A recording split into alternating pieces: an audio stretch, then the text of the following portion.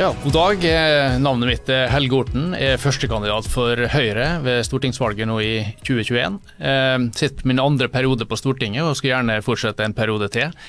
Vi er opptatt av å få videreført den jobben vi har begynt på, og i dag så skal vi møte Karl Johansen fra MDG. Vi skal utfordre han på en del av eh, den politikken som MDG eh, står for. Så Karl, velkommen til studio. Takk. Eh, først og fremst, eh, vi er jo uenige om en del ting. men Det er jo sånn at vi faktisk kan være enige om et eller annet òg. Men eh, når det gjelder veibygging, der har jo eh, MDG foreslått å kutte vesentlig i veibygginga i hele landet. Det snakker ikke bare om motorveier, men generelt om å kutte veibygging vesentlig og overføre pengene til jernbane, og sånn sett sentralisere en god del av, av, av eh, samferdselssatsinga. Syns du det er god distriktspolitikk og god samferdselspolitikk? Eh, jeg vil nyansere det bildet litt. Eh, vi bruker over 400 milliarder på vei, vi også, i vår nasjonale transportplan. sånn at å si at vi på en måte ikke bryr oss om vei, blir jo feil. Eh, vi ønsker å tredoble antall ladestasjoner for elbiler. Så det er helt klart at bilen skal vi ha i Norge, og særlig i distriktene. og En annen ting som vi gjør, er at vi, vi øker budsjettet til fylkesveier med 11 milliarder i vår NTP sammenlignet med deres. Det som vi vil, er å skalere tilbake de store kapasitetsøkende motorveiprosjektene, sånn som Møreaksen, som vil gjøre det veldig mye vanskeligere for oss å nå de klimamålene vi har satt oss. og Du jo, sitter jo på Stortinget, så du vet jo hvor vanskelig det allerede er å nå de klimamålene. så Det kan vi i hvert fall være enige om.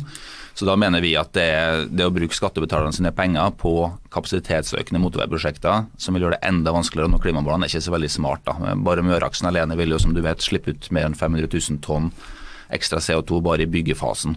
Og Det kan man liksom ikke komme seg bort fra. Da må man finne andre steder å kutte dem utslippene, i tillegg til alt det som eh, man allerede ikke klarer å kutte i dag.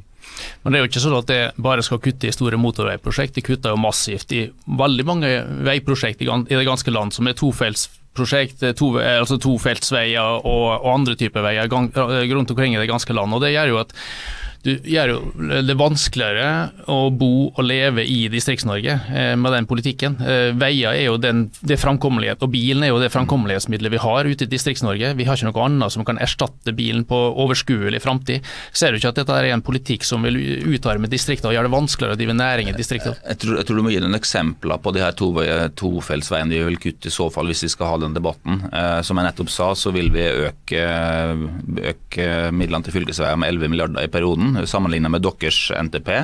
Så det er jo ikke akkurat å, å nedprioritere veiene, det er ganske mye penger. Eh, bare i Møre og Romsdal så har vi et vedlikeholdsetterslep på snart 9 milliarder, og det bare vokser fordi vi får ikke prioritert det. Så det her handler også om prioritering. Eh, når du sier tofelts veier, eh, da regner jeg med du mener tofelt i hver retning. Det er ikke mange bygder som, ikke mange, ikke mange, ikke mange bygder som trenger det. ikke sant? Eh, så, sånn at Når du sier at det er distriktsfiendtlig, så tror jeg du må gi meg noen konkrete eksempel på, ja, vi, kan, vi kan jo det. Ta et konkret eksempel fra Møre og Romsdal.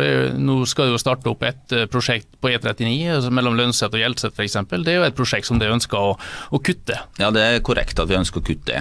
og Det kan man jo diskutere. Utfordringa her da, i fylket er at vi har, i byene våre så har vi en kollektivandel på mellom 5 og 6% Kristiansand og Molde, Kristiansund og Molde har 5 eh, Ålesund har 6 noe som er ekstremt lavt. I Molde så sitter de på en kjempefin sykkelplan som de har sittet på mange år, eh, som de ikke bruker, som de ikke bygger ut. Eh, Molde trenger en massiv satsing på kollektivtransport og på, sy på sykkelveier. Eh, det må man gjøre først, mener vi da, før man begynner å bygge mer vei. Og så skjønner jeg at det henger sammen med sykehuset. Eh, og Det er jo på en måte utfordringa nå, at sykehuset kommer. Eh, og at det ikke sikkert man rekker å få på plass alle de fine tiltakene for sykkel og, og, og, buss som man trenger i Molde.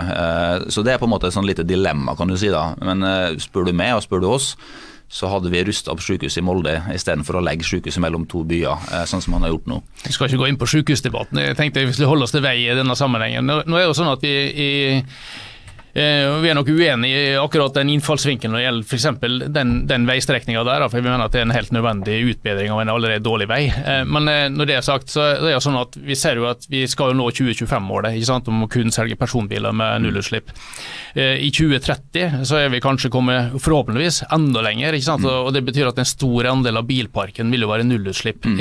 Syns du vei er et like stort problem, altså det å investere i vei er et like stort problem når på en måte det som går oppå veien er nullutslipp? Nullutslippsløsninger?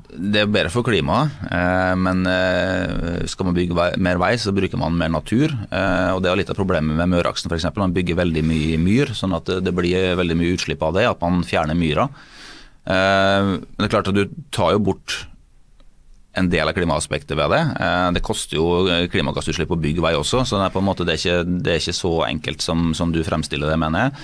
Og så er det et par andre ting da, som du ikke kommer bort fra. Mikroplastproblemet. så Der er bildekk en stor del av problemet. Når du øker biltrafikken, så får du mer av det. Så Det kommer du ikke bort fra. Så kommer du ikke bort fra det at, man, at du bygger ned natur da, eh, når du bygger vei. Så det, vi, er ikke, vi, er ikke, mot vei eh, som sådan, men det må, det må vektes mot, eh, mot andre hensyn, og så må det vektes mot hva man bruker pengene på. Ja, Det er for så vidt enig men det vi har lagt fram. er jo egentlig en ganske balansert nasjonal transportplan der vi både bygger vei og bane og, og legger til rette for sjøtransporten. og det, Sånn sett så, så synes jeg at den, den innfallsvinkelen der at du kutter så massivt i vei for å overføre penger til jernbane, for det er egentlig det som ligger i, i politikken til MDG. og Det gjør jo at du vil gjøre det vanskeligere å både bo og drive næring ute i distriktene. Det er iallfall sånn, så, sånn som vi ser det. og Så får vi bare konstatere at vi er sannsynligvis uenige om denne problemstillinga der. for å for å bringe oss litt over på et annet uh, tema. Da. Uh, det skal jo øke avgiften vesentlig på flytrafikk. Uh, og Vi er for så vidt ikke uenig i at vi må omstille flytrafikken til mm. nullutslippsløsninger, men det vil jo øke avgiften ganske betydelig allerede før du har et alternativ. Mm. Syns du det er en god idé? Ikke Vil ikke det ha samme effekten for Distrikts-Norge, nemlig at du får et dårligere tilbud? Men vi skjermer jo småflyplassene og Nord-Norge. Det, ja, det er jo utgangspunktet skjerma fra før, for det er jo på anbud. Jo, jo, men, men, i og med at du spør meg hva som er vår politikk, så må jeg jo nesten få poengtere at vi skjermer jo dem, sånn at dem som faktisk er nødt til å bruke fly, blir jo skjerma. Eh, men vi vet jo at de, de mest trafikkerte strekningene i Sør-Norge, det er blant de aller mest trafikkerte flystrekningene i Europa.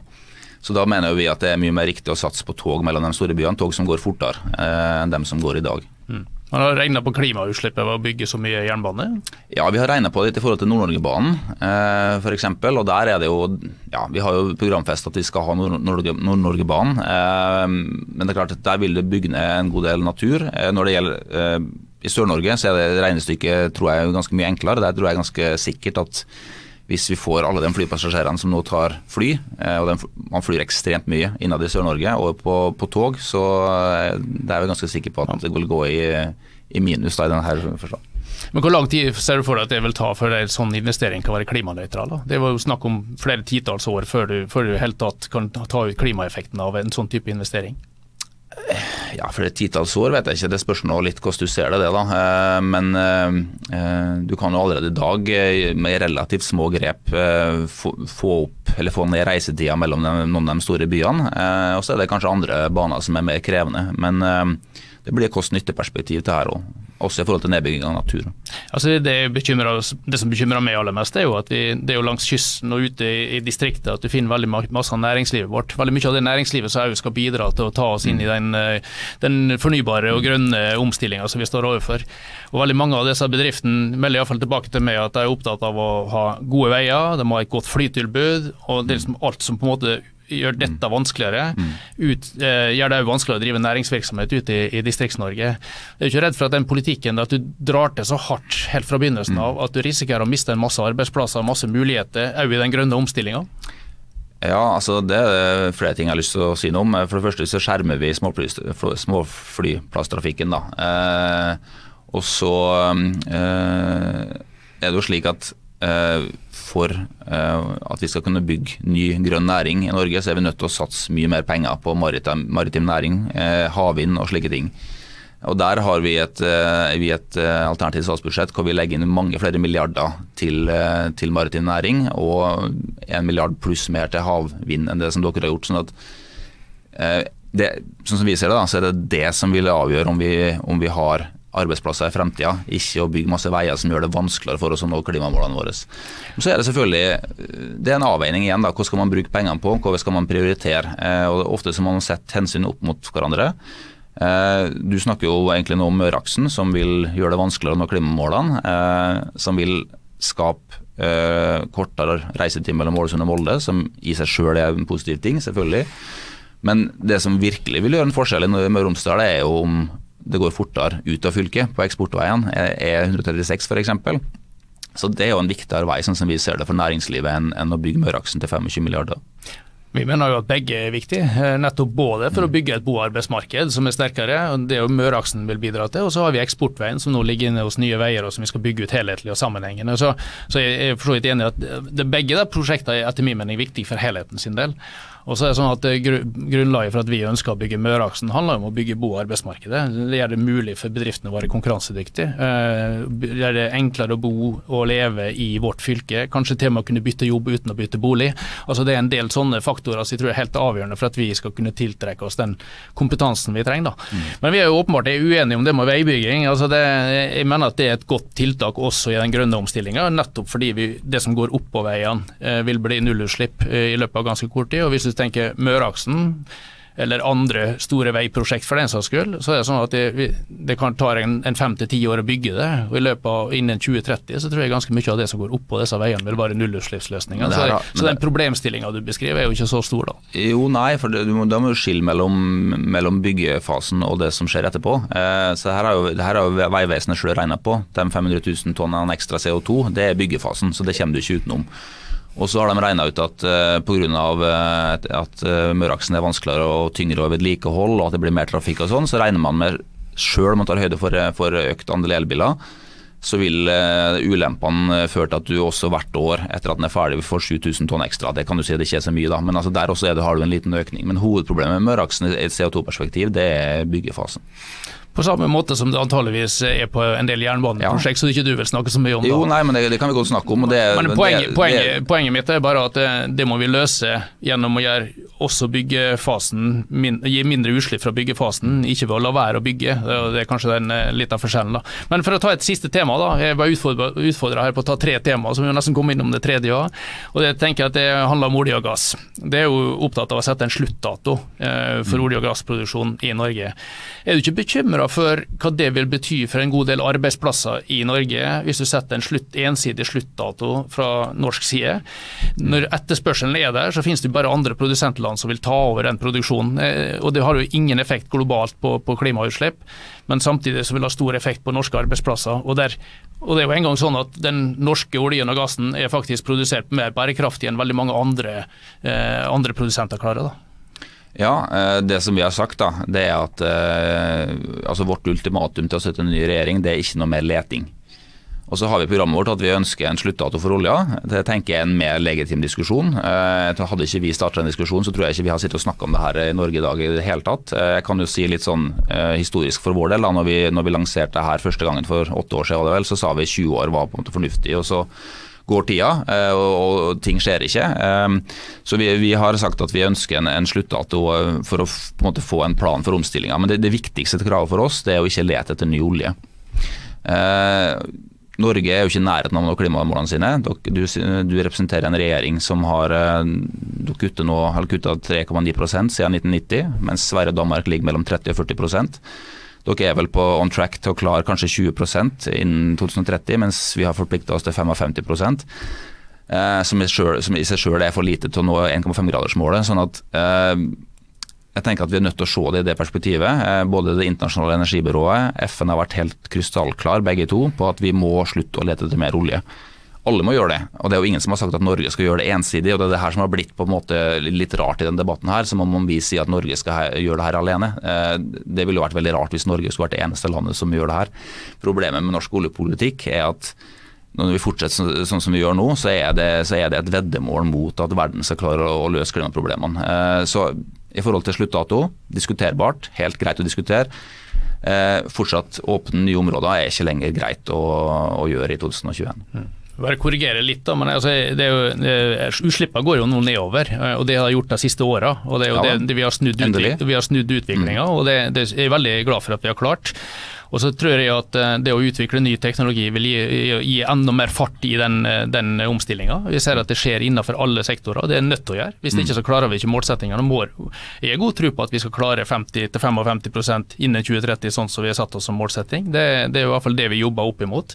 Men det er ikke det prognosene tilsier, da? De eh, nei, men altså, det som er interessant er jo at mye av den omstillinga har skjedd nå de siste åra. Og vi ser at teknologiske endringer gjør at ting kan skyte fart. Og jeg er veldig stor, jeg er teknologioptimist som sådan. og Det betyr at vi er i stand til å kutte, kutte utslippene uten å kutte utviklinga. Det er jo det som er vårt utgangspunkt, fordi vi må passe på arbeidsplasser nå. for jeg tror, mm. Det er. Ja, og jeg tror, vi, jeg tror, at vi, må være veldig opptatt av det, fordi vi ser at, eh, at uh, hvis vi ikke greier å få folk med oss, hvis folk blir arbeidsledige i omstillinga her, så vil vi ikke lykkes uansett hva vi snur og vender på det. Så det er en enormt viktig. Så Det er iallfall vårt, uh, vårt utgangspunkt. Jeg tror nok det må slutte at for olje og gass, det synes det, jeg synes, tenker at det, det avgjør etterspørselen. Det er vårt utgangspunkt. Altså, Så lenge det er etterspørsel der ute, og det er jo den vi må jobbe med i tilfelle, mm.